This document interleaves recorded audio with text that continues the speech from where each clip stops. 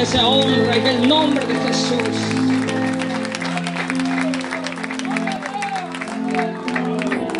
A su nombre, a su nombre.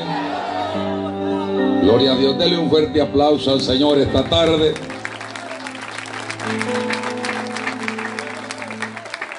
Nos gozamos esta tarde maravillosa, igual que las tardes anteriores. No sabemos si mañana habrá otra tarde para nosotros, pero esta la aprovechamos. Porque los creyentes vivimos el presente y no hacemos nada más por el futuro que santificarnos. No sé si me di a entender, porque solo cuatro dijeron amén. No hacemos más por el futuro que santificarnos. Todo lo que hagamos aparte de santificarnos como que sale sobrando. Para el futuro lo que cuenta es una vida de santificación. Amén. Qué bueno es el Señor.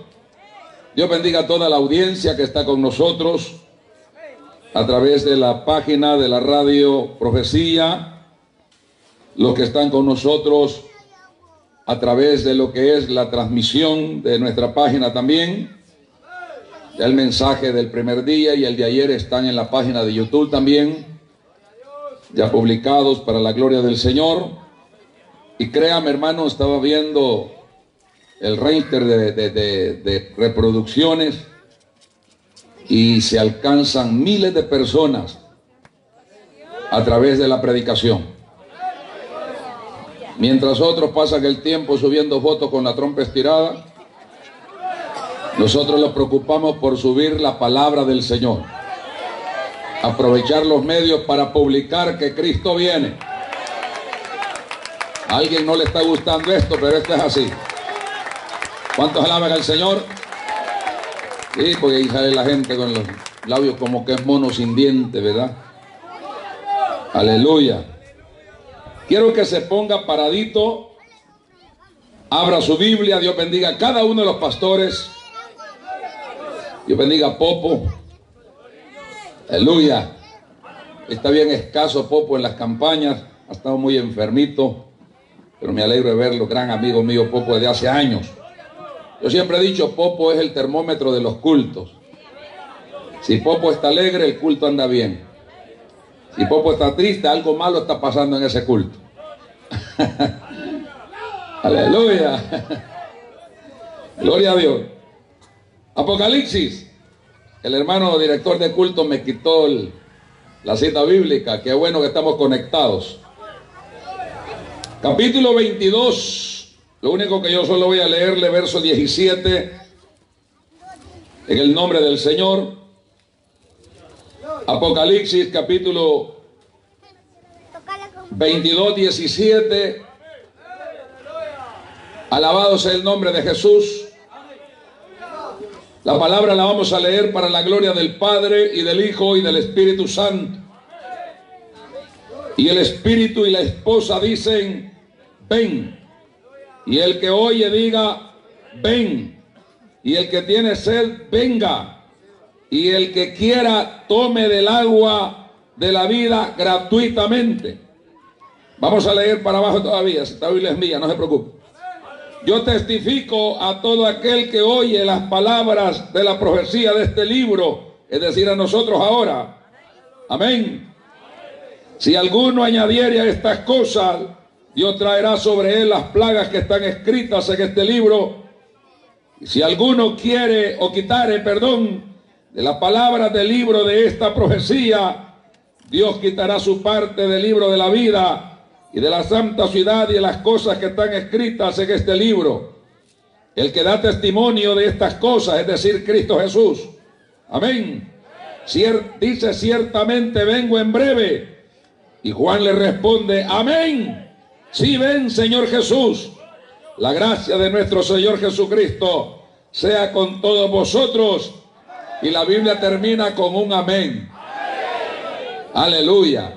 De gloria a Dios y se sienta. Alabanza al Señor.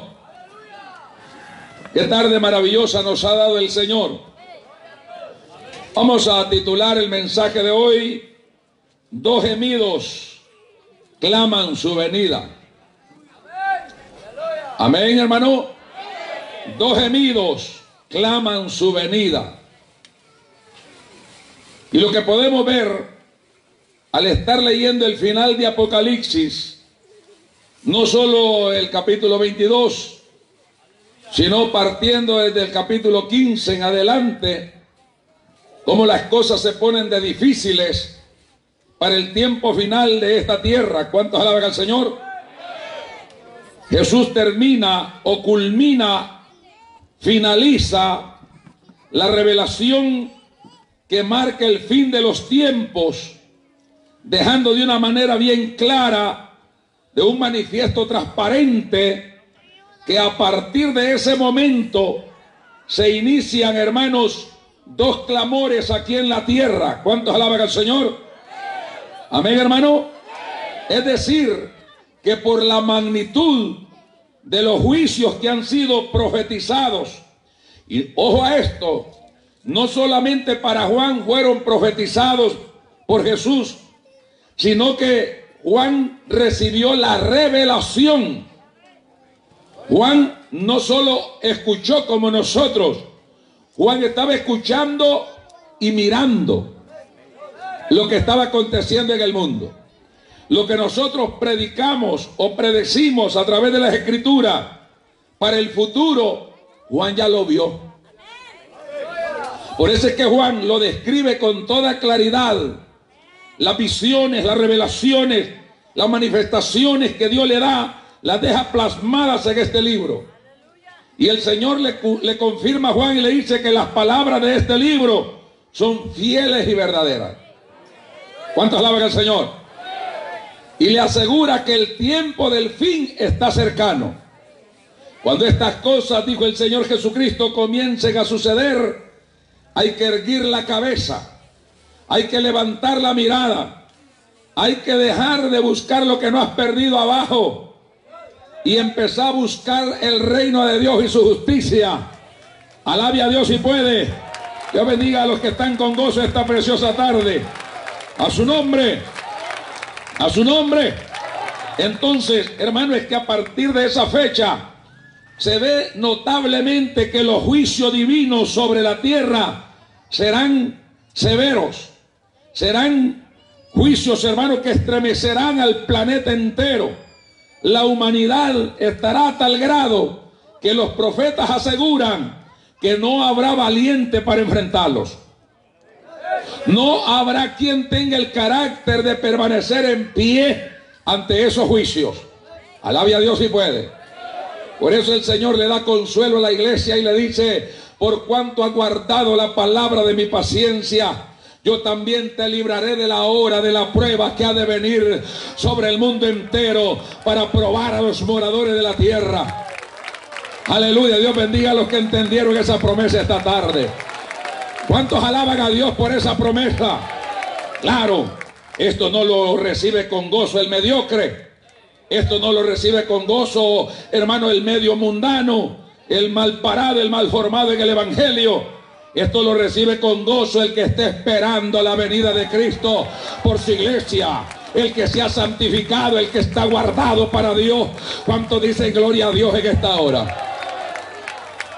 Hay personas que estos mensajes no les, no les causan ni tus ni mus. Aleluya. Ay, dice yo no me gusta que hablen de esos miedos que le quieren meter a uno. Usted siga tragando novela y ahí me cuenta después qué le pasa. ¿Cuántos alaban al Señor? Entonces los dos clamores se desprenden ahí. Los dos gemidos se desprenden de la magnitud de los juicios de Dios sobre la tierra. ¿Cuántos alaban al Señor? Es decir, para hacerle más claro, hay dos gemidos y lo dice claro aquí. Un gemido es el del espíritu y el otro gemido es el de la esposa. El espíritu y la esposa dicen, ven. Y ese ven. ¿Usted está aquí, hermano? El espíritu y la esposa dicen, tiene B mayúscula. ¿Me escuchó? No es un ven como que está llamando a Joaquín. ven Joaquín, ven Panchito. No, es un ven con B mayúscula. Es un ven con énfasis, ¿me está escuchando? Es una palabra que tiene peso. ¿Cuántos alaban al Señor en esta hora? Porque nosotros solo leemos la Biblia y a veces no nos damos cuenta que Jesús dijo que ni una tilde y ni una jota, ni un puntito de esta Biblia puede ser abolido. Tiene su cumplimiento. ¿Cuántos alaban al Cristo de la gloria? Dele fuerte ese aplauso al Señor en esta hora. A su nombre. El gemido del espíritu y de la esposa, hermano, que traducido al griego, del griego original a nuestro castellano es la novia. El espíritu y la novia, la prometida la desposada. ¿Cuántos alaban al Señor? Son los dos que claman. A partir de esa revelación, el espíritu y la esposa comienzan el clamor. Ven, Señor Jesús. Ven, Señor Jesús. ¿Cuántos alaban al Señor en esta hora? ¿Por qué? Porque a partir de esa fecha se empezó a cumplir categóricamente, hermano, la palabra del Señor. El cielo y la tierra pasará, pero esta palabra no pasará. Y los hombres han visto el cumplimiento de esta palabra al pie de la letra. Nada falta ya que Cristo venga por su iglesia. ¿Cuántos alaban al Señor en esta hora? Con, manos fieles levante y diga, yo lo estoy esperando. Ahora, la pregunta es, ¿cómo lo estás esperando? Alabe a Dios si puede. Hay gente, por ejemplo, hay culturas en, otros países bien raras. Por ejemplo, Honduras, nuestro país vecino. La mayor parte de la gente, hermano, si va para San Miguel, esperan el bus a este lado de la carretera. Aleluya. Si van para Ciudad Barrio, lo esperan al otro lado, a donde lo esperan los que van para San Miguel. Y es hasta que el bus viene y pita y se para. Entonces ellos dicen a cruzarse la calle hasta el otro lado. No lo esperan al lado donde el bus va a pasar. Hay gente esperando a Cristo así, ¿sabe? Están en el camino ancho esperándolo. Alabia a Dios y puede.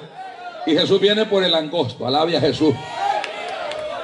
Lo están esperando en la puerta ancha. Y Jesús es el langosta. ¿Cuántos dicen amén? Es la estrecha. Dele fuerte ese aplauso al Señor. A su nombre sea la gloria.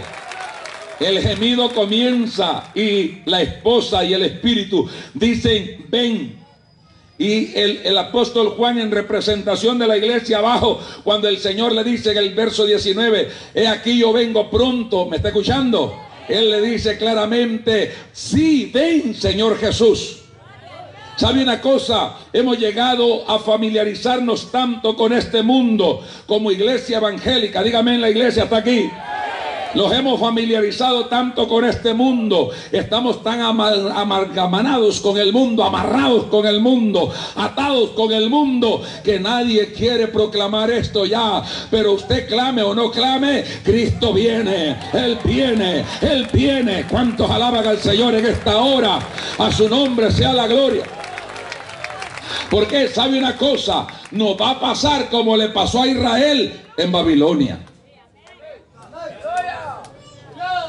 Los israelitas cuando llegaron cautivos a Babilonia, hermanos, tenían la esperanza de volver en libertad de nuevo a Jerusalén. Añoraban Jerusalén.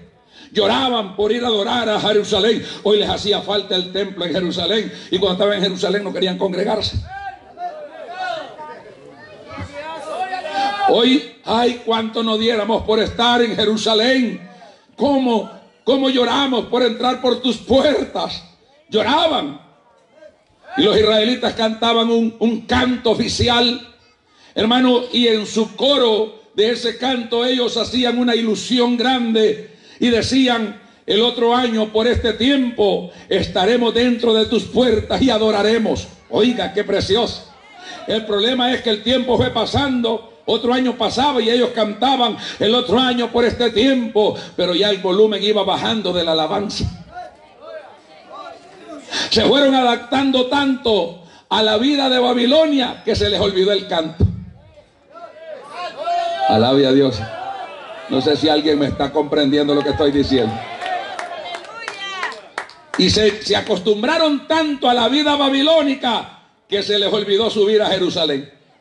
Se acomodaron a Babilonia. Ya nadie cantaba y cuando alguien aparecía por ahí cantando el otro año, avivate, vos eso ya no tiene sentido. Ya no hay esperanza. Hay gente que ahora ya no puede oír un mensaje de la venida de Cristo, para ellos ya no viene. Ya no quieren oír esas alabanzas, hermano, un poco, un poquito de tiempo esperamos. Ya no les gusta, hermano, aleluya. Hoy solo quieren oírme, robaste el corazón, aleluya. ¿Cuánto alaban al Señor? Los tres tristes tigres y los tres tristes trinches cantando, hermanos, trabalenguas ahí. ¿Cuánto dicen amén? Ahí está la gente entretenida, pero alabanzas que hablan de la venida de Cristo. Versículos de la Biblia que hablan de la venida del Señor. Hermanos, ya casi no se están escuchando. Es porque la mayoría de la que dice ser la iglesia, la esposa del Cordero, se está acomodando tanto a este mundo que ya no espera el novio. La mayoría son las cinco vírgenes tontas que están con tremenda lámparas, pero no tienen aceite. Alabe a Dios si puede en esta hora. Dele fuerte ese aplauso si es para Él. A su nombre. Así, igual.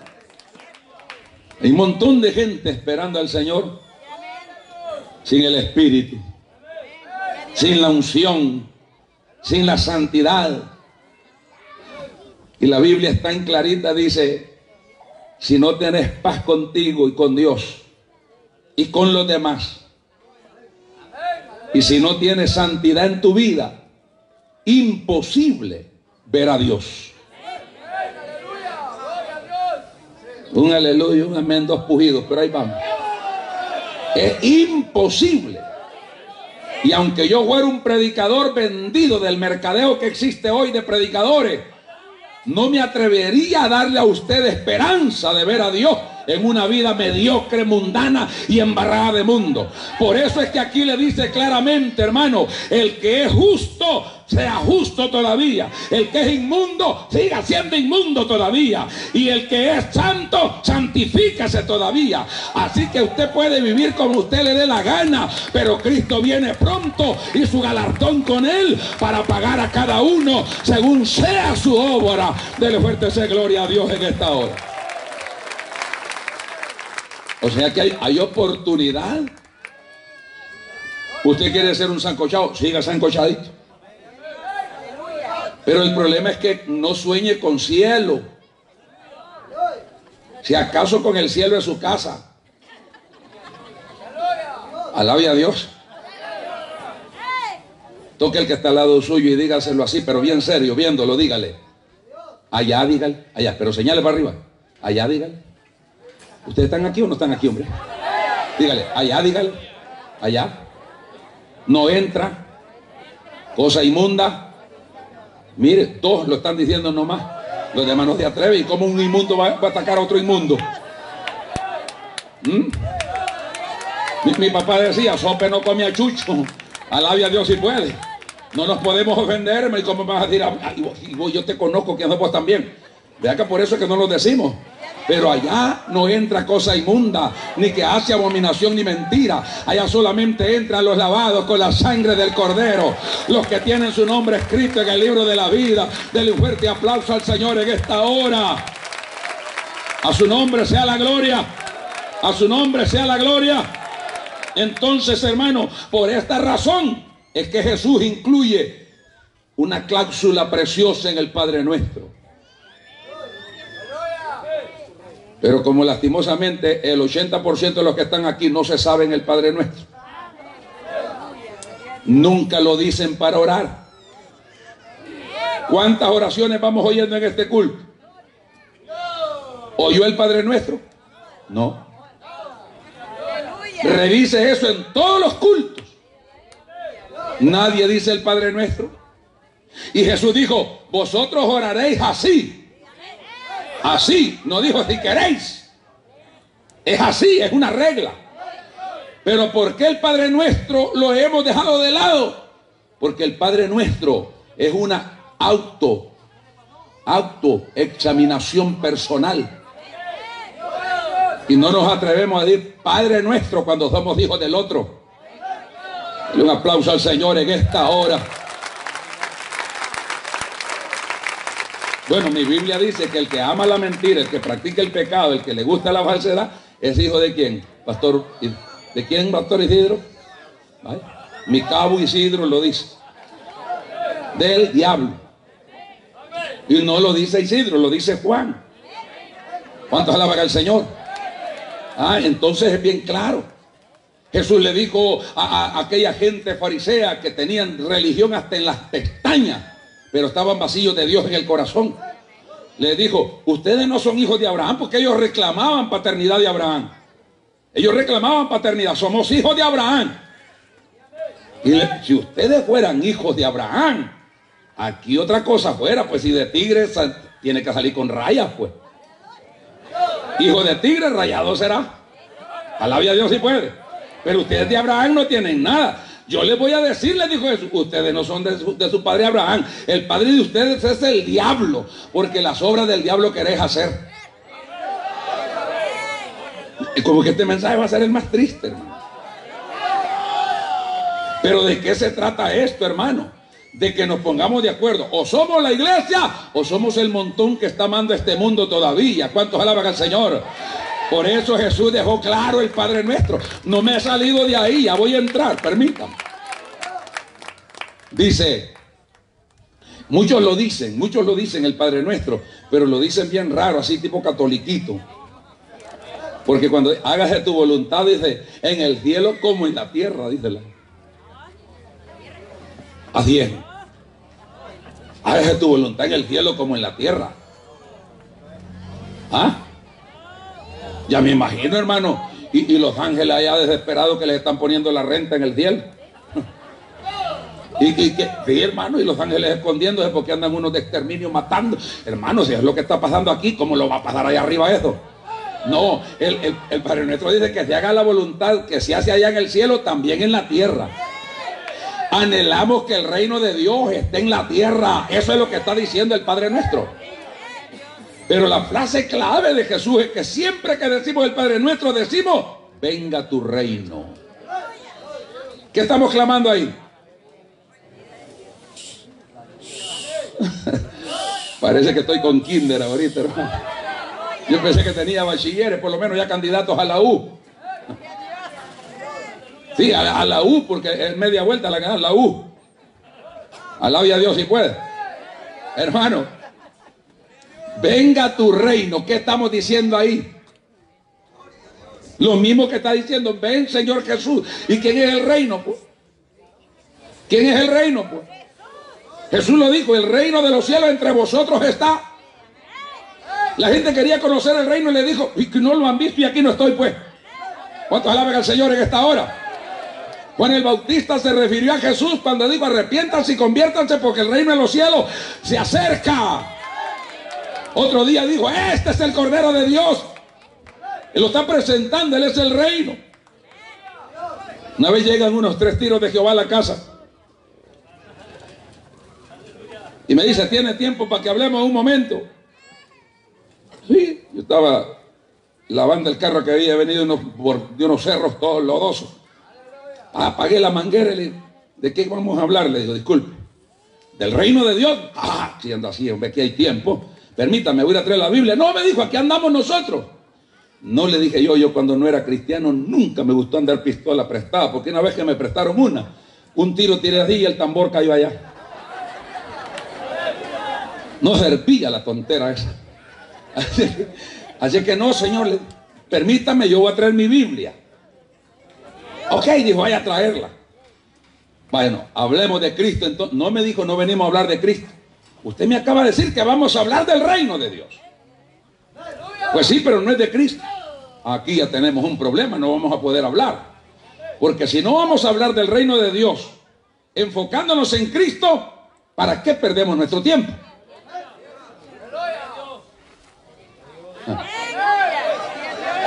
Alabe a Dios si puede.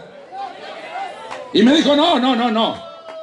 Es que no queremos hablar de, Cristo, sino del reino. Y me querían llevar a Isaías. Usted sabe que el león va a dormir con el niño, la culebra y nada. Usted sabe que qué bonito. Y, los dibujitos y el librito están bien bonitos, no hay problema.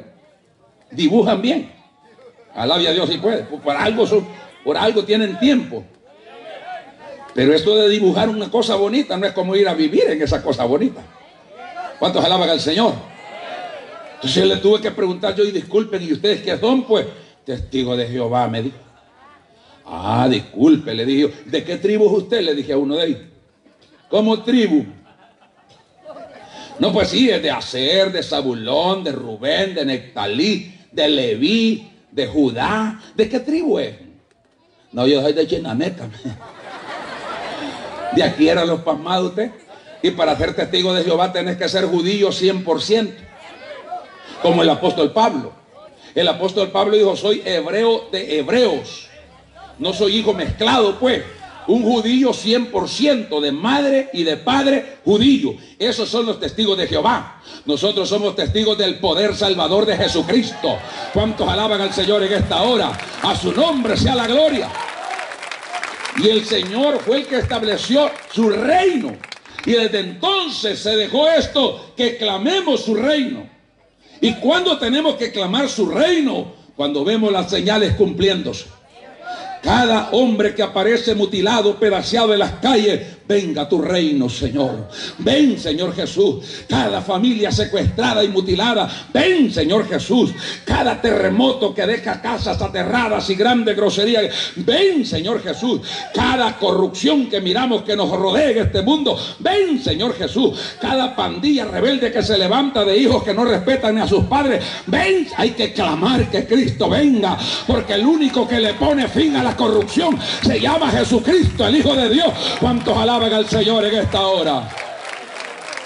A su nombre. Pero la iglesia no está clamando ven. Aleluya. Por eso la mayoría se han hecho clientes del canal Enlace. Porque ahí no se habla de esto. Ahí solo se habla de prosperidad. Pacta, siembra y prospera. ¿Ah? Pre, pro, pre y pro encuentro y todo por los encuentros y pa. Pero nadie habla de nada. Una yegua pintada, empantalonada y llena de argollas y cadenas en el púlpito hablando en lengua, diciendo que el oro está cayendo encima. Eso le encanta oír a la gente. Pero la iglesia no está para eso, la iglesia está para decir, ven Señor, esto ya no se soporta, esto ya no se puede vivir aquí, anhelamos vivir allá, pero practique la vida del cielo aquí abajo. Si usted no practica la vida temerosa del cielo aquí, difícilmente podrá entrar allá. ¿Cuántos alaban al Señor? Bienaventurado el que vela y guarda su ropa para tener derecho para entrar por la puerta de la ciudad. Dele fuerte ese aplauso si es para él. Qué bueno es Dios, hermano. A su nombre. Venga tu reino. Ya no digamos otra frase porque es de gusto. Hágase tu voluntad y cuando se somete a la voluntad de Dios y usted hace lo que le da la gana. Señora, tu voluntad, Padre. Y otra vez frijoles vieja, préstame el plato. Murmurando es la voluntad de Dios. Pues es la voluntad de Dios que coma frijoles y hay quien que no tiene ni frijoles. Murmuramos de la voluntad de Dios por todo. Hace poco fuimos por allá a una misión a Honduras. Frijoles, mañana frijoles, mediodía frijoles, en la noche. Yo soñaba hasta con los frijoles. Y el hermano que andaba conmigo venía, es pechito, pero puro tambor venía. Y me dice, qué barbaridad, hermano, puro frijoles. Gracias a Dios, hermano, y el apóstol Pablo pasaba tiempo sin comer. ¿Ah? El apóstol Pedro pasaba tiempo sin comer. ¿Me está escuchando? Por causa del Evangelio. Los metían en una mazmorra, en una cárcel, los olvidaban allá por causa del Evangelio. Y nosotros, hermanos, puro hierro, pura proteína, levantando el calcio. ¿Cuántos alaban al Señor? Que no se te caiga el potasio. ¿Cuántos dicen amén en esta hora? Puro frijolito. Hay que darle gloria a Dios entonces. Alabe a Dios comiendo frijoles y santificándose. Dele fuerte ese aplauso al Señor. Aleluya. A su nombre. Entonces, hermano, hasta hoy el espíritu y la esposa siguen suplicando, ven Señor Jesús. Alguien dijo una interpretación de este versículo.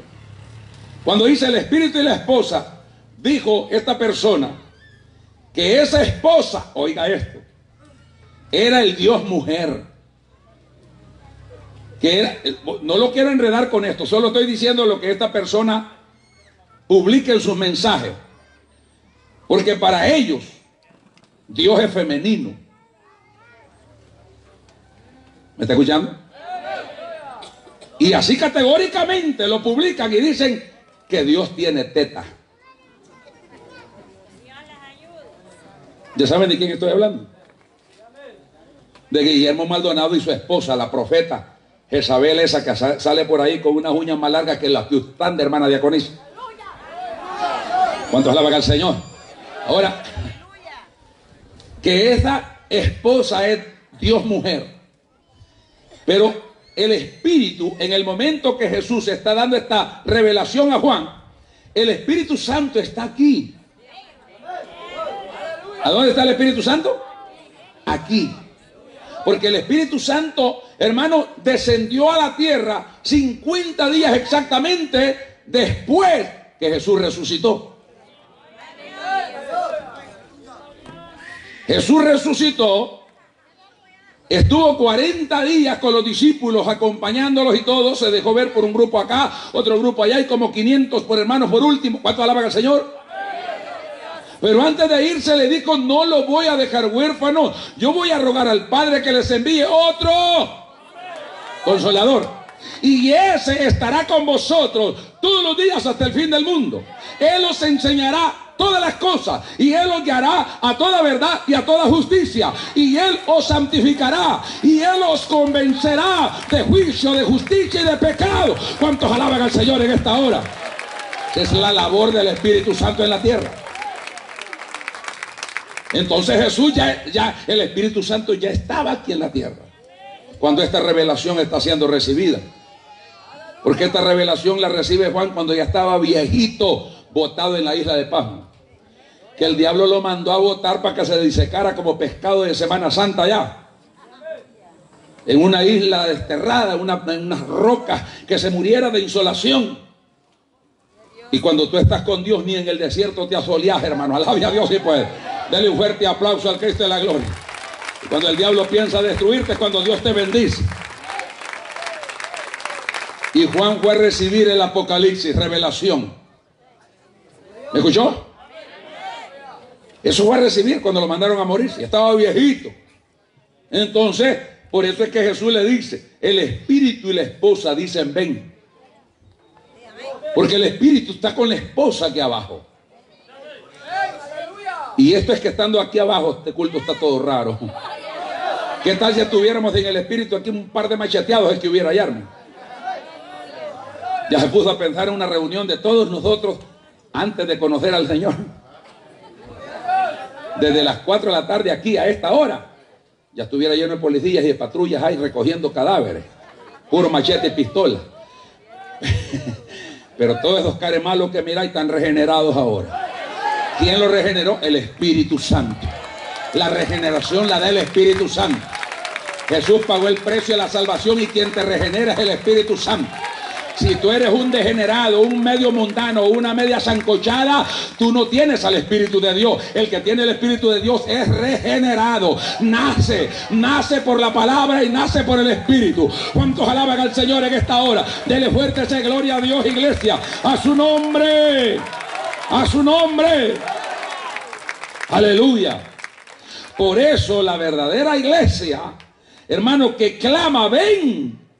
Hermano, no es amiga del mundo.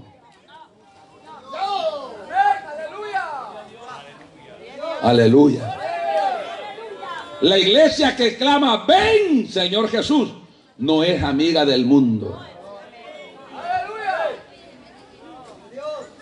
No se mancomuna con el mundo. El apóstol Santiago escribe una carta universal, es decir, para todos los creyentes. No va dirigida a Israel, no va dirigida a cierta ciudad de Asia, no, es para todos los creyentes. ¿Está escuchando? Y en esa carta universal el apóstol Santiago dice, mm, dice el, el apóstol Santiago, no améis al mundo. No, no, porque dice, todo aquí, o almas adúlteras. Así que dice, o almas adúlteras. ¿Y a quién se le llama adúltera sino a una mujer casada que se echa con otro hombre? Entonces esa palabra va dirigida a cierta, a cierta formación de grupo identificado femeninamente, que tiene un compromiso serio, que está casada, que ya está desposada, que hay un compromiso nupcial. Le dice, oh almas adúlteras, ¿qué almas son esas? Aleluya. Las que ya le prometieron amarlo al Señor. Las que ya le prometieron servirle solo a Él. Las que ya dijeron un día, Señor, me arrepiento de mi pecado, voy a vivir una nueva vida. No sabéis que la amistad con el mundo es enemistad contra Dios. Cualquiera pues que se hace amigo del mundo se constituye enemigo de Dios. Enemigo de Dios. ¿Me está escuchando? Ahora, cuando nosotros comprendemos esta palabra, nos damos cuenta, estimado hermano, que no podemos ser amigos del mundo. Explico esto. Es decir, no podemos adaptarnos al sistema de este siglo. Si es que el mundo en sí, el cosmos, no tiene ningún problema. El planeta, al contrario, deberíamos de sentirnos dichosos de ser habitantes de él. ¿Me escuchó? Es más, deberíamos de cuidarlo más. En vez de cortar un árbol, sembrar cuatro más. En vez de ir ahí para arriba, hermano, por el río, a, pescar por el río de, de, Chapeltique, en vez de ir ahí para arriba, a echarle veneno al agua para sacar hasta las larvas del camarón, deberíamos de comprar larva de camarón y venirle a echar al río. Valga la redundancia. Que yo le explique. Eh, eh, el camión anda motorista, vea para acá. ¿Cuántos alaban al Señor? Ahí anda un motorista, no se preocupe. Él responde por lo que haga. Pero usted vea para acá. Ahora, hermano, el mundo no tiene ningún problema. Si habitamos en él. Pero Jesús dijo en su oración sacerdotal en el capítulo 17 del Evangelio de Juan, ellos son del mundo ellos están en el mundo, pero no son del mundo. Del mundo los sacaste y me los diste, pero no son del mundo. En el mundo están, pero no hacen lo que el mundo hace. ¿No le quedó más claro? Entonces hay que clamar, ven Señor Jesús, porque no es este nuestro país eterno, no es esta nuestra tierra eterna, esta es tierra de peregrinación, aquí vamos de paso. ¿Cuántos dicen gloria a Dios en esta hora? Dele fuerte ese aplauso si es para Cristo. Vamos de paso. ¿Cómo vamos? De paso. Somos peregrinos y extranjeros. Porque nuestra morada no es eterna aquí. Esperamos la morada eterna. Dijo el apóstol, mientras esta, el apóstol Pablo, mientras este tabernáculo terrestre, este, este visible, se nos va deformando, se aflojan los dientes, se ajoroban los huesos, se llenan los ojos de nubes, como que es temporal. Se te cae el pelo, te pones cascorbo como pijullo sin pluma. Es porque vamos perdiendo la fuerza. Es porque vamos deteriorándonos y vamos otra vez buscando el lugar de donde fuimos sacados. Toca el que está al lado suyo y dígale, solo eres polvo, hermano, bótelo en buste. Aleluya. Y no eres más que polvo. Ahí tapándose la nariz cuando siente polvo en vez de saludar a su primo, que es aleluya. Puede ser su hermano gemelo, ese poco de polvo, hombre. ¿Cuántos alaban al Señor? Pero hermano, vamos de paso. Es cierto que este tabernáculo se está deshaciendo, pero no obstante el Señor, el espiritual, lo está edificando nuevo, porque el eterno es el verdadero. La presencia del Señor será eterna y verdadera con nosotros. Por eso es que debemos de anhelar la presencia del Señor eternamente. Este mundo está podrido. Ven, Señor Jesús. Dele fuerte este aplauso al Señor.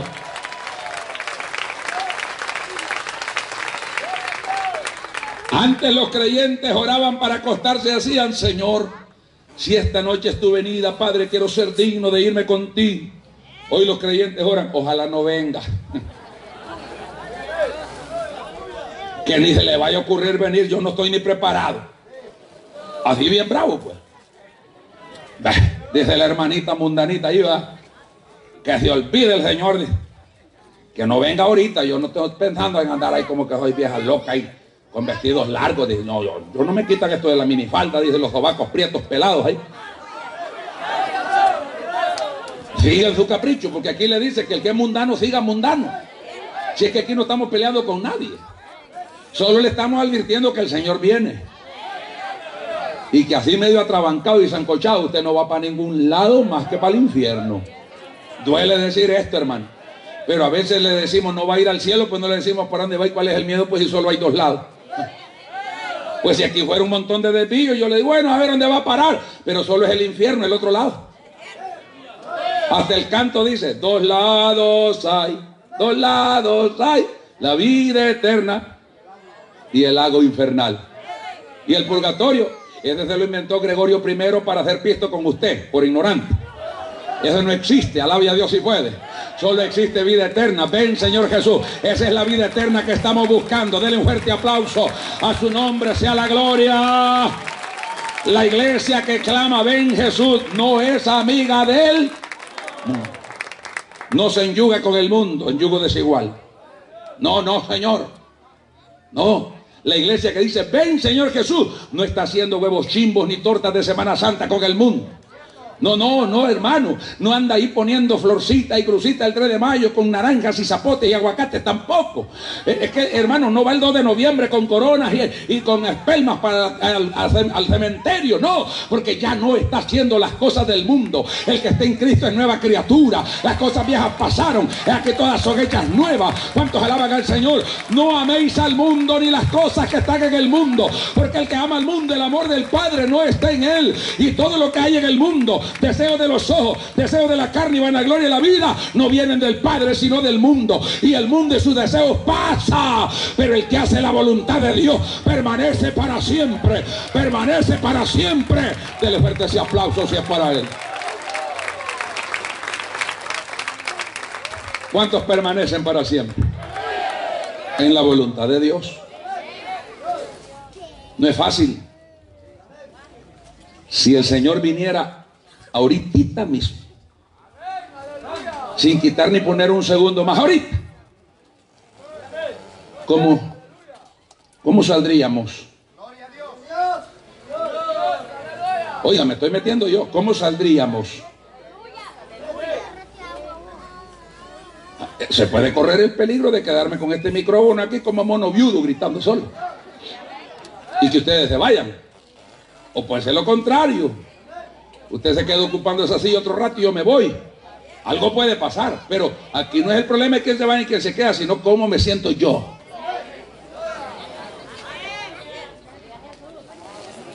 Amén. Amén, hermano. Le voy a contar un pequeño testimonio. Hace unos 12 años Viajé del estado de Virginia a Georgia para una campaña con el hermano cantante Andrés Caldames.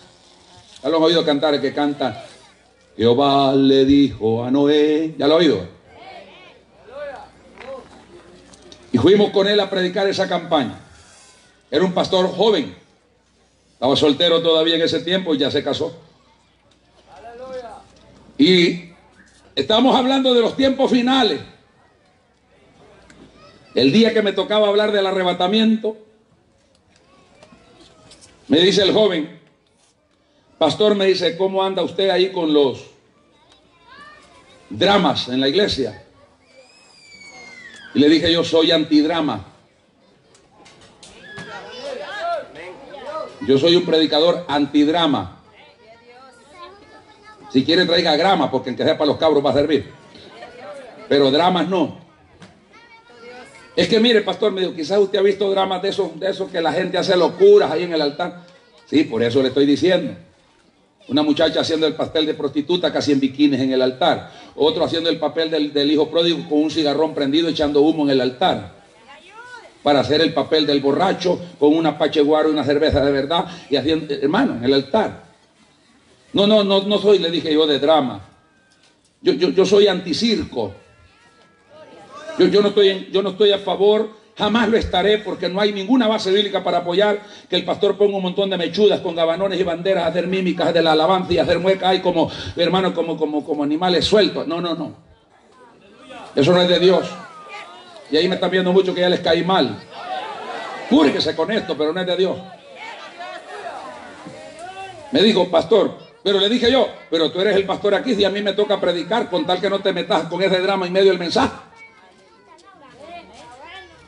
A Dios se fue. Alguien me dijo a mí un día que estaba predicando en una campaña y transmitimos y alguien salió con un, con un canto medio rockero. Me dice, pastor, ¿por qué permite eso? No, no, papá, yo vengo a predicar. Yo respondo, la hora que yo me subo aquí, hasta que me bajo, yo respondo por lo que hago. Lo demás es problema del pastor local. Claro, yo no me voy a quedar callado, yo le voy a decir, hermano, porque como el pastor anda vara y callado, y muchos perdimos la vara y nos quedamos callados. Claro, yo le voy a decir que tampoco puedo dar una orden que no sea, pues yo, me voy. Y me dijo, no, pastor, es que mire, le voy a explicarme. Solo usted lo va a saber. Solo es que va a haber un apagón de luz. Eso es antes de la predicación. Es más, me dijo. Cuando finalicemos, que prendan la luz, un diácono le va a dar a usted el micrófono y usted pasa y usted explica que es un drama el que hicimos. ¿Y cómo es eso? Ah, eso es todo, pastor. Es que usted no va a ver ningún movimiento en el altar. Alabanza al Señor. Terminó de cantar Andrés Galdames y el joven agarró el micrófono y dijo, el Señor nos ha estado hablando, nos ha estado advirtiendo de su venida. Hemos oído cómo el enemigo ha trabajado con la apostasía y empezó por ahí el muchacho. Y no es de pensar tanto para prepararse porque Cristo puede venir hoy mismo. Esa era la palabra clave para que bajaran los dados de la luz. Y en un templo en Estados Unidos, una vez que bajan toda la luz, quedas que no te ves ni las manos. Y si eres negro, peor. Son herméticos, totalmente sellados. Se fue la luz. Aquella, y como todo mundo allá con los teléfonos apagados, empezaron a sacar los teléfonos y a prenderlos para hacer claridad con los teléfonos. Ya cuando vinieron a hacer esto, empiezan los gritos. Paz, prendieron la luz, hermano, y em, se aceleran más los gritos. Y es que la hermana Julana había perdido su niño y no estaba ahí. Y la otra hermana que estaba al par aquí, ahí estaba el vestido y los zapatos y la Biblia botada. Y el pastor solo estaba el micrófono y la murada tirada en el, en el púlpito. El guitarrista, la guitarra había quedado con su camisa, su pantalón y los zapatos botados ahí. El del bajo, como era un peludo, se quedó mascando chicle, estaba el caballo. Alabia a Dios y pues. El baterista, un mono viudo pegándole aquellos cumbos, se quedó también. Y la mamá del pastor joven, llegaban de Andrés llorando y le decía, ¿usted sabe para dónde dejó mi hijo? Aunque no sabía usted, le decía Andrés. Y, gritaban, los que estaban en el drama, los que sabían del drama gritaban, Cristo vino. Y la iglesia se ha ido. Nos quedamos. Pero era con llanto. Esa gente miraba novela, aprendieron a llorar bien. Pero ahí había gente llorando de verdad. Ahí había gente que ignoraba esto. Gente llorando de verdad. ¿Me está escuchando? Yo me preocupé porque yo miraba una anciana que ya la tenían recostadita dándole risa porque se estaban muriendo la gente de paro cardíaco. Dije yo, viene la policía, aquí hasta yo voy a quedar preso por esto. Yo que tengo vela en este asunto, nada. Y yo le hacía seña al diácono que estaba, que había pasado al púlpito. Me decía, hágalo sufrir. Hasta el rato, pasa pastor, me dijo, ya pasé. Le digo, hermano, hermano, calma, hermano, calma.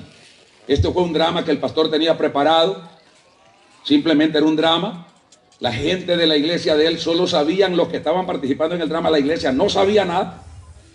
Lo sabían los veintitantos hermanos que iban a participar. Cada quien andaba una mudada y un par de zapatos idénticos al que andaba puesto. En el apagón de luz tiraron esa mudada y se fueron a meterse al Beima. Alabe a Dios. Pero la, la, pregunta mía fue, pero si esto hubiera sido realidad, ¿cuántos de ustedes creen que de verdad se hubieran quedado? Vénganse al altar. Toda la iglesia vino para adelante llorando. Y ahí se oían confesiones groseras en el altar. Señor, te pido perdón. Mire, hermano, allá había gente confesando infidelidades matrimoniales. Que no va a haber aquí, ¿cómo no? Alabia a Dios, pero no lo hacen como Cristo no viene. Por eso es que cuando se van a acostar nos dicen, Señor Jesús, ven, si estoy durmiendo me voy contigo, Padre.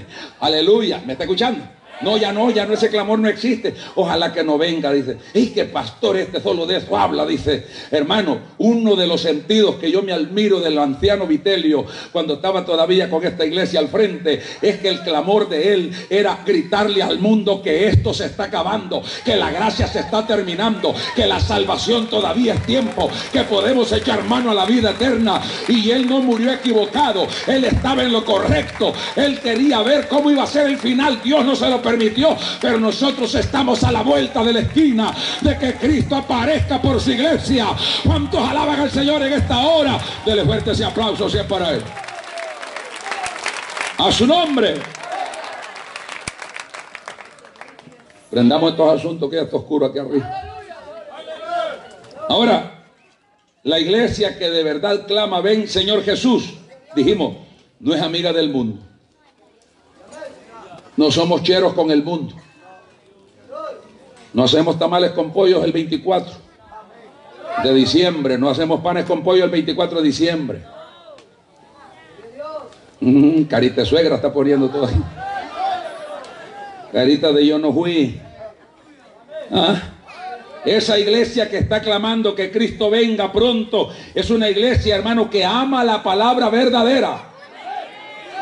No se conforma con machigüitas, ni con fábulas, ni con cuentos. Ella ama la palabra verdadera. Dios bendiga a los cuatro que tienen gozo aquí. Esa iglesia vive en santidad. ¿Cómo vive? No admite maldad en su corazón. No admite engaño en su corazón. Porque esa iglesia se lava a diario con la palabra. Efesios 5:25 dice que el Señor Jesucristo lava la iglesia con el agua pura de la palabra a fin de presentársela a sí mismo. Una iglesia gloriosa, que no tenga mancha ni arruga ni cosa semejante, que sea santa y sin mancha. ¿Cuántos alaban al Señor en esta hora? Esa es la iglesia que clama, ven Señor Jesús. ¿Cuántos claman, ven Señor Jesús aquí? A su nombre. Esa iglesia es la que se ocupa en proclamar el mensaje de esperanza. Si es la iglesia que se preocupa porque los amigos oigan el mensaje. Felicitamos a los pastores que mantienen el campamento afuera todavía. Que no se han encuartelado en cuatro paredes a estarse justificando como fariseos ellos mismos. Que no pasan solo encaramados en un altar haciéndose los santulones cuando la vida de la gente allá afuera es otra y hay que llevar el mensaje de esperanza. ¿Cuántos alaban al Cristo de la gloria? A su nombre. Porque ahora la preocupación de mucha gente es a quien tenga el mejor templo. Ha pegado una fiebre terrible. La gente con templos hermosos, hermano. Yo creo que lo, lo, los hermanos de Príncipe de Paz y principalmente la familia Bonilla me entienden lo que estoy diciendo. No es fácil estar construyendo, hermano.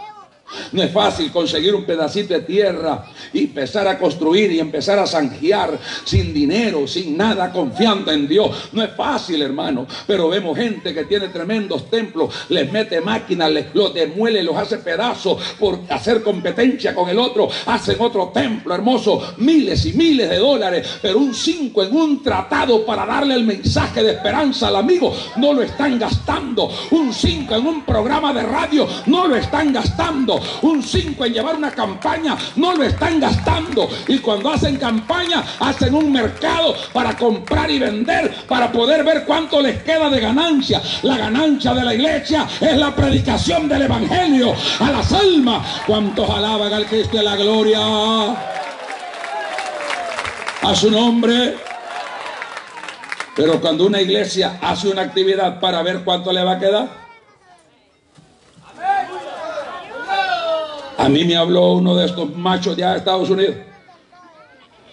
Pastor, fue el año antepasado. pastor, voy para El Salvador. Ah, qué bien, hermano, le dije. Me dirijo a usted porque yo sé, pastor, que usted es bien reconocido. Este tontito piensa que yo todavía camino en carretilla. yo cuando vine a Cristo dejé los rodos. Hermano pastor, nunca camine por rodos, camine por la voluntad de Dios. Porque gente que te empuje en patines hay bastante. Pero una vez agarré quinta para abajo, nadie te va a detener a quebrarte los dientes, pa. Me empezó a decir, como usted es reconocido, todo el oriente, ustedes a dónde no lo conocen, pastor. Por eso pensé en usted. Montemos un evento en, una, en un estadio de oriente. Si es posible, San Miguel, pastor. Usulután, La Unión. Pero no me mencionó Morazán, más arriba no le gustó. Metámosle con todo, pastor. Y lo vamos 50-50. ¿Qué, ¿Qué, le dije? ¿Cómo es eso? ¿Qué, qué es 50-50? Me dijo, la ganancia la dividimos iguales. Oh, sí, le dije yo, ¿usted viene a sembrar una sandillera aquí? ¿Usted viene a sembrar una maicillera? ¿Una milpa? ¿Usted viene a poner un negocio y me está buscando de socio para repartir una ganancia? No, yo hablo del evento. El Señor te reprenda, demonio. El Evangelio no es negocio. El Evangelio son las buenas nuevas de salvación. Para que todo aquel que oiga diga ven. Para que el que tenga sed venga y beba. ¿Cuántos alaban al Señor? Es la salvación gratuita que fue pagada en la cruz, en el Calvario. Hasta la última gota de sangre tiene un valor pesado ante los ojos de Dios. No somos comprados con oro, ni con plata, ni con cosa corruptible, sino con la preciosa sangre del Cordero de Dios. Dale fuerte gloria a Dios en esta hora. A su nombre. Esta iglesia que clama, ven Jesús, proclama el mensaje se sacrifica porque el mensaje salga a las calles. Equipemos nuestros predicadores. Porque miren, hermanos pastores, de gracias a Dios si tiene un par de predicadores en la iglesia, porque eso cuesta también. ¿Eh? Hay locos que les das un mensaje y te quieren bajar del púlpito. ¿Sí, corren en una pata y después le dicen a la gente, yo soy mejor que el pastor, póngame a mí. Están locos estos. Por eso hay gente que sube como que barecuete, dos bombazos y abajo la vara. Ni sabe a dónde va a parar. ¿Cuántos dicen amén? Pero ¿cuánto vale una bocinita de ese recargable con todo el micrófono? 150, 170, 200 dólares, 250, la calidad manda de ahí para allá. ¿Por qué no le compra una a los predicadores de la iglesia?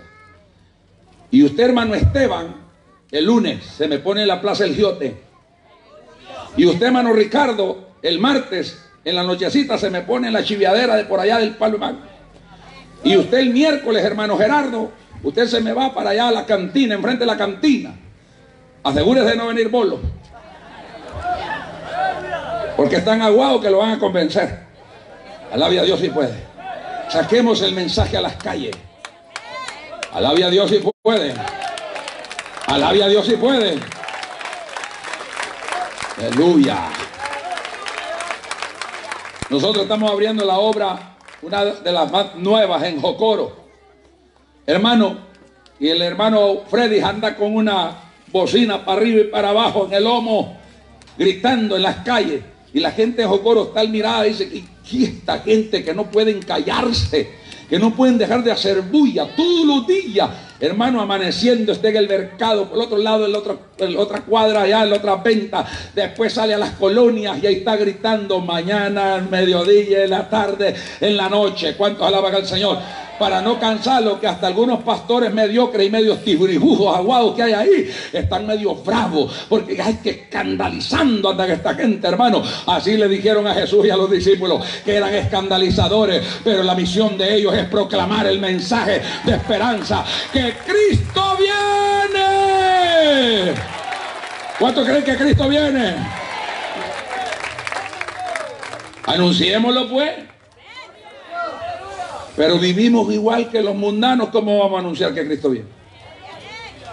¿Ah? A mí me dijo una hermana, ah, pastor, conmigo se fue chuco, me dijo.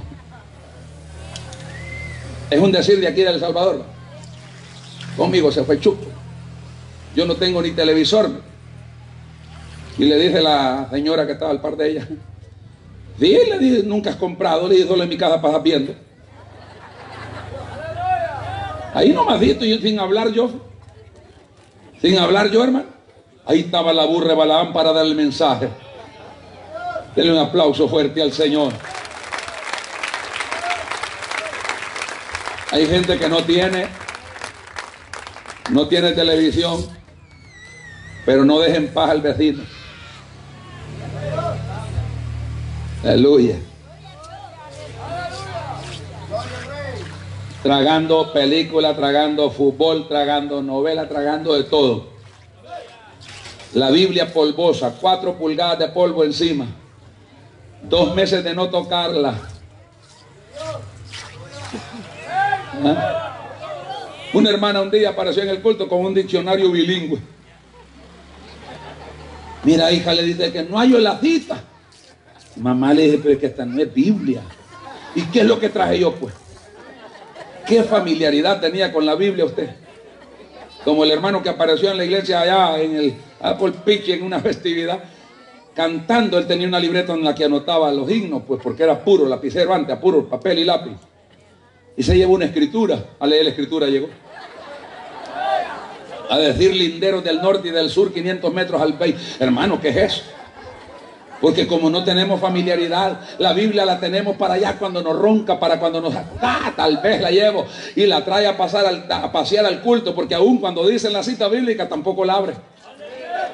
Fíjese que si usted, pruébelo pastor, pruébelo hermanito lindo. Mire, cuando dé la cita bíblica, haga así a la saltín, marín de dos a la víbora de la mar y agarre hacia al azar a alguien. Usted hermana, léame la cita y se va a dar cuenta si la tiene la Biblia en lo que usted dijo. No la tiene. O la tienen abierta para que usted diga que está bien. Cuando estén listo, digan amén, amén. Y al revés la tiene. Amén. Estoy listo. No les interesa. La iglesia que esté esperando la venida del Señor ama, relaciona con la palabra, vive la palabra, escudriña la palabra, porque sabe que en ella tiene la vida eterna. Y esa es la que da testimonio del que da testimonio aquí. ¿Cuántos alaban al Señor? A su nombre. A su nombre. Bendito sea Dios. Esa es la iglesia que proclama. Pero no solamente la iglesia que proclama. La Biblia dice aquí, y el que oiga diga, ven. ¿Cuántos están oyendo aquí? ¿Qué tenemos que decir? Ven. Ven. Casi no lo hacemos, hermano. Vivimos tan desapercibidos como ignorando de que el Señor vendrá y que será repentina su venida por su pueblo. Vivimos tan ocupados que se nos ha olvidado el compromiso personal que tenemos con Dios. Vivimos tan afanados y tan materializados que la vida espiritual tenemos que buscarla en el fondo de la olla. Tal vez ha quedado un chingaste todavía. El Señor necesita una iglesia en la tierra, pero una iglesia llena de su gracia. Una iglesia que dé testimonio, como la iglesia primitiva que el Señor solo se encargaba de añadir cada día los que se iban a salvar, porque el resto de trabajo la iglesia lo hacía a la luz de la palabra, vivían para Dios, eran temerosos de Dios, se amaban unos a los otros, no eran embusteros, no eran orgullosos, predicaban por las casas, en el templo, partiendo el pan. ¿Cuántos alaban al Señor en esta hora? Compartían con los pobres, con las viudas y los huérfanos. Denle un fuerte aplauso al Señor. Es que la iglesia ha perdido su papel verdadero.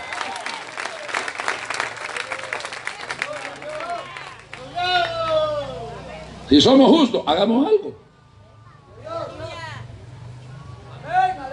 ¿Cuánta gente amanece tirada en las calles por las cadenas del vicio? Pero no nos dignamos de llegar a esa calle en buena mañana. Dale un chocolate a ese borracho que está temblando. Hablarle de Cristo y orar por él.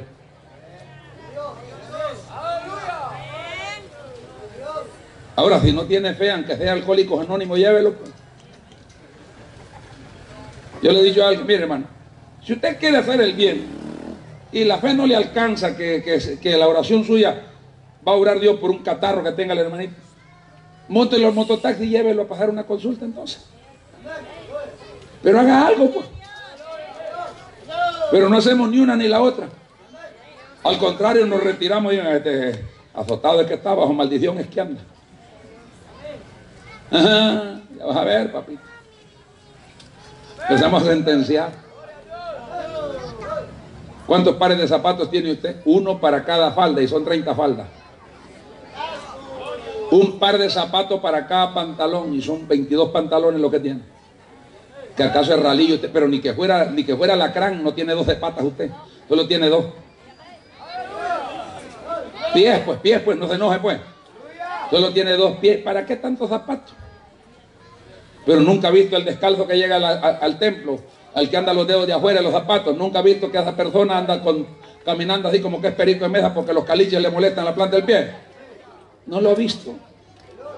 Se burla de la hermana Joaquina porque siempre anda con el mismo vestido. Toca a la vecina y le dice, mira, ahí viene hermana Joaquina. Parece fotografía, ¿verdad? vos? Como que es propaganda de políticos. Mira, el del año antepasado anda lo mismo. Y empezamos a criticar a la hermana por el vestidito que anda.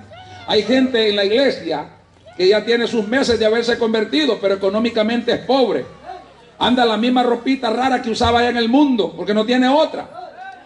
Y empezamos a decir, mira, esta mujer desgraciada no se quiere componer. No, hermana, usted tiene 40 vestidos, ¿por qué no saca unos 10 y le da unos 10 a ella para que vista diferente? Alabe a Dios si puede en esta hora. Pero la iglesia ha perdido, por eso es que no podemos decir, ven, porque cómo nos vayan pues. Aquí ya me demostraron que casi no quieren nada con Cristo, así es que con la iglesia voy a terminar hoy. ¿Ya le predicamos a esta gente o no? ¿Cuántas veces voy viniendo aquí ya perdí la cuenta? Hasta Dui voy a sacar del giote, ya me dijo el pastor que me va a ayudar aquí. Luye, y un carnet de las asambleas aquí. ¿Cuántos alaban al Señor? Y nos quedamos en el giote. El que oiga, diga. Y el que tiene sed, venga y beba. Venga y beba gratuitamente del agua de la vida. No le cuesta nada su salvación. Es totalmente regalada. ¿Me está escuchando? ¿Me está escuchando? Y hasta aquel hermano que ofrenda y diezma, si usted lo hace y lo hace por un corazón agradecido hacia Dios, hágalo. Pero si cree que lo está haciendo para pagar la salvación, no lo haga. Está equivocado. La salvación ya está pagadita. Es regalada, es gratuita. La ofrenda y el diezmo uno lo da porque agradece a Dios. De lo recibido de su mano, de eso damos para su obra. Pero no es porque estemos pagando, la salvación es gratuita. ¿Cuántos alaban al Señor? El perdón de los pecados fue pagado en la cruz con sangre. Dele fuerte ese aplauso al Cristo de la gloria. Así que el que tiene sed, venga. En Isaías 55 dijo el Señor, a todos los sedientos vengan. Vengan a las aguas y beban gratuitamente.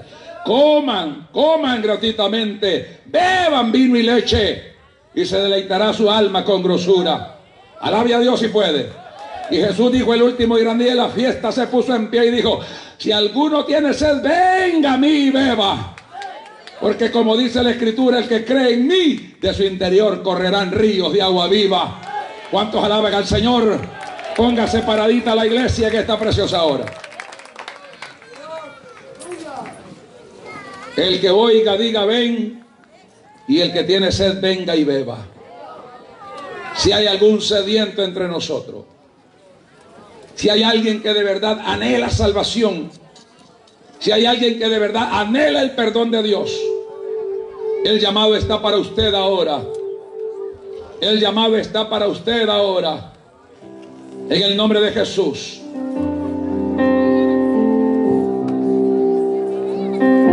La iglesia está orando un momento. Ya solo hago el llamado y terminamos. Mi deber es llamar. Predico y hago el llamamiento.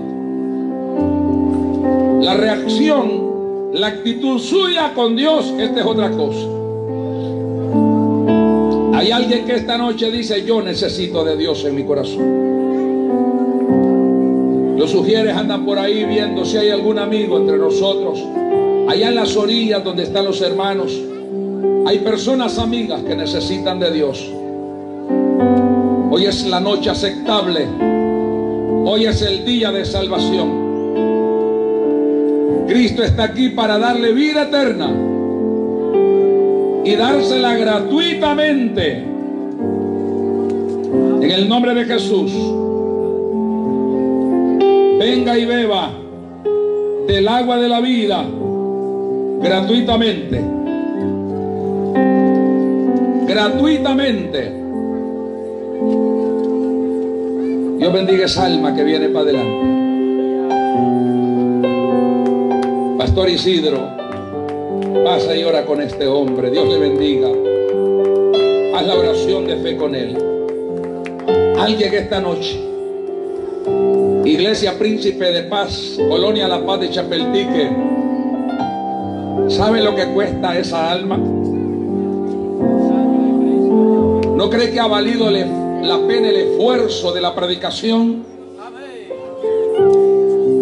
Y aunque nadie aceptara en la campaña el compromiso que le dejamos a la gente grande, pero aquí hay un alma dándose a Cristo Jesús.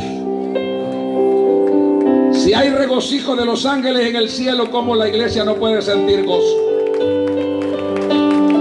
Alábelo, alábelo, alábelo, alábelo. Cristo vive. No sé si hay alguien más esta noche. No sé si hay alguien más esta noche. A través de la página la gente también hace su conversión, su reconcilio y ahí reportan después. Pero hay alguien que quiere esta noche. Alguien más. Si no hay nadie más. Ahí como con nuestras manos al cielo decimos, Padre, gracias.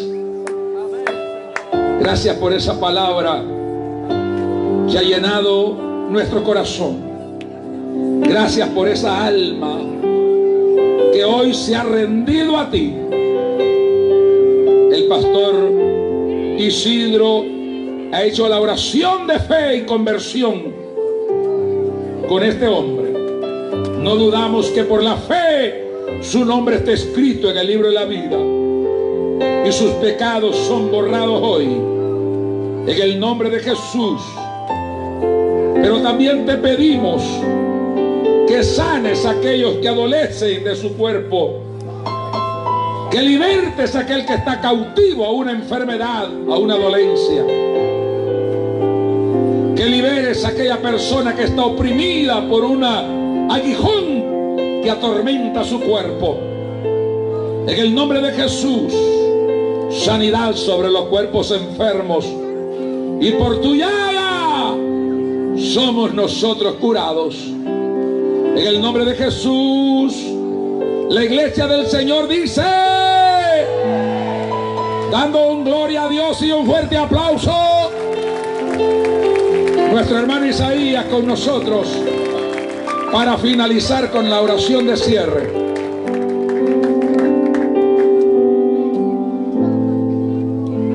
Aleluya, damos gracias a Dios por este día que el Señor nos permitió.